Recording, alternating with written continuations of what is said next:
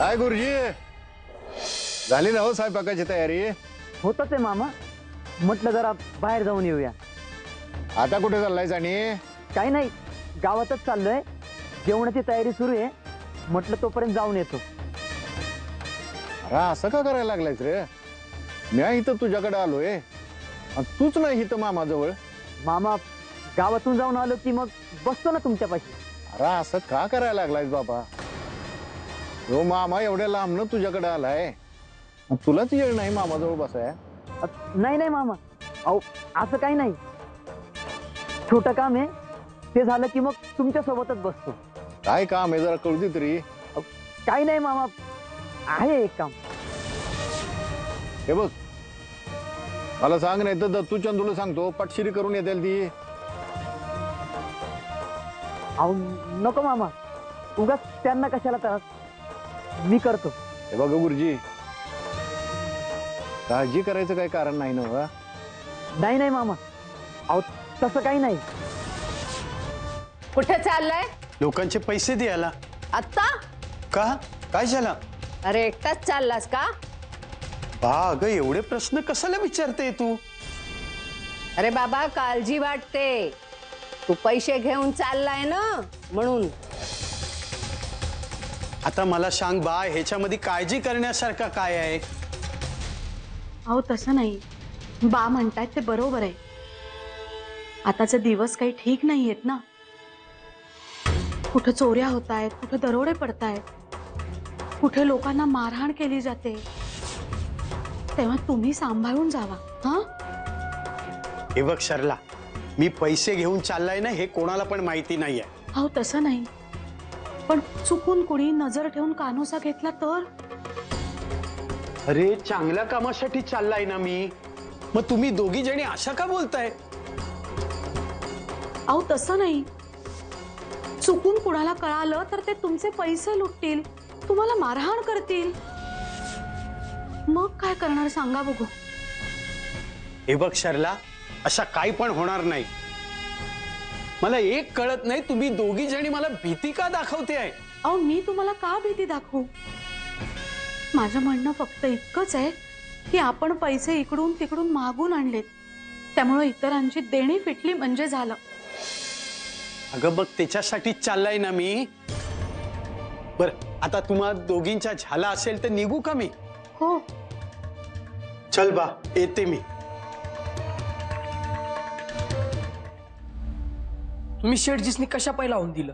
अरे शेटजींची कामं होती. वय तरी बी तुम्ही थांबवायला पाहिजे होतं शेटजीसनी तू कोण रे सांगणारा? आणि तुझ्यामुळे आम्ही आमचं काम थांबवायचं का? जेवढं सांगितलं ना तेवढं करायचा. आणि गप बसायचं तिकडे गोठ्यात. मालकीनबाई शेटजी पैक घेऊन गेल्यात ना हो? काय रे बाळू? तुला कसं माहिती? समजा ठाव आहे मला. माझ्यापासनं काय बी लपून राहत नाही. तरी मी बोलले होते चंदूला. कोणाला कळायला नाही पाहिजे की तो पैसे घेऊन चाललाय. पण तो माझे ऐकेल ना? बाळू तू म्हणतोयस म्हणजे नक्कीच काहीतरी असणार आहे. काय आहे नक्की? सांग ना रे. तिकडं येशीच्या बाहेर चोरांचं टोळकं आहेत. शेटजी तुम्ही बोलावलं का मला? बाळू तू म्हणाला होता ना अगदी तशाच झाला बघ. कशाचं म्हणताय तुम्ही? बाळू तू काल मला जाताना बोलला ना शेठजी तुम्ही जाऊ नका म्हणून. तेव्हाच मला कळायला पाहिजे होता. की बाळू जायला का नको सांगते ते हो शेटजी तुम्ही एवढं पैक घेऊन गेला होता म्हणून म्हणलं जाऊ नका. एक तर दी चांगलं नाही पाऊस पाणी नाही त्यामुळे हाताला काम नाहीत चोऱ्या माऱ्या होत आहेत आणि सध्या आता चोरांचा लय सुळसुळाट आहे. बाळू अरे यांना दरोडेखोरांनी अडवलं होतं. तूच वाचवलंस ना यांना? नाही नाही मालकीन बाई म्या कसं वाचवल? म्या तर हितो होतो ना मग नाही नाही बाळू. मी बघितला तिथे.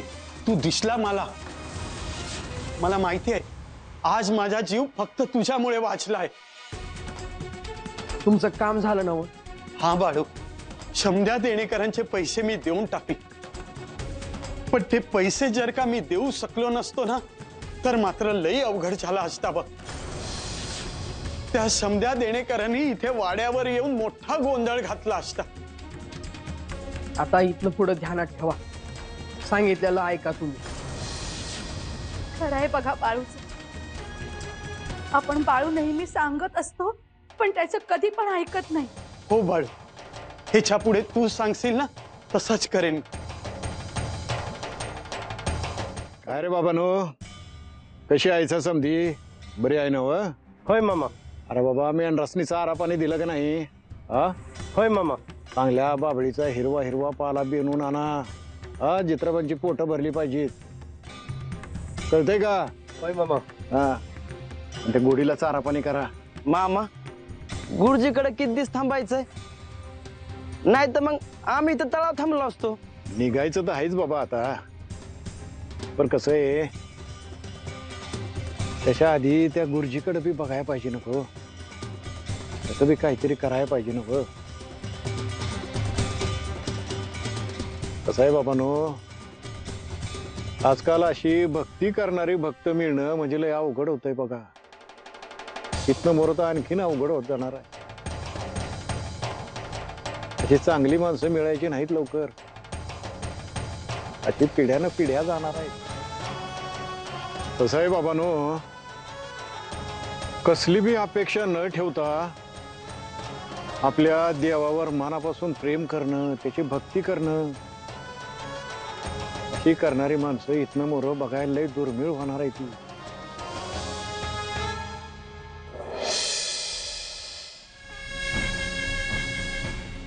काय झालं दादा? म्हणजे मामा आले नाहीत म्हणून विचारलं. अहो ताई मामा जित्रपांकडे बघतात जरा. त्यांनी तर आम्हाला मोर धाडले आपण मामा कधी येणार आहेत नेमके? तसं काय सांगितलं नाही. पण मामाच म्हणलं तुम्ही जा मोर गुरुजीकड म्या येतो. आपण नक्की येतील ना मामा? नाही तुम्ही पुढे आलात म्हणून विचारलं. अहो येतील मामा. तुम्ही नका काळजी करू. कालपासून मला उगत असं वाटतंय की मामा माझ्यावर नाराज आहेत की काय? माझ्यावर रागवलेत की काय? काही चुकलंय का माझं? अहो गुरुजी असं काय बी नाही. वय. ओ मामा कशाला रागवतील तुमच्यावर? उलट तुमचं नशीब आहे की मामांचं पाय तुमच्या घरला लागले. नाहीतर मी कितीतरी वेळा मामांना बोललो पण ते कधीच माझ्या घरला आलं नाही. आज निघतो आता आम्ही. मामा अहो, थांबला असता अजून काही दिवस. गुरुजी पुरी सुजाता गेली सोळा साल मी तुमच्याकडे येतोय. सतराव सतरावं साल आहे. नित्य नियमाने मी तुमच्याकडे येत राहिलोय. पण आज पत्र तुम्ही काही मागितलं नाही. मला समजतंय सगळं. तुमची परिस्थिती काय काय नाही. समजत दिसतंय मला. अरे बाबानो सुदम्याचे पोहे श्रीकृष्णानं खाल्ले होते. तसा सोळा साल मी तुमच्याकडे येतोय. नित्य नियमाने अरे बाबानो तुमच्या मोहरच मी कितीतरी लोकांनी आशीर्वाद दिलाय. त्यांचं भलं झालंय आयुष्याचं कल्याण झालंय. पण आज पतूर तुमच्या मनात असं कधीच आलेलं नाही.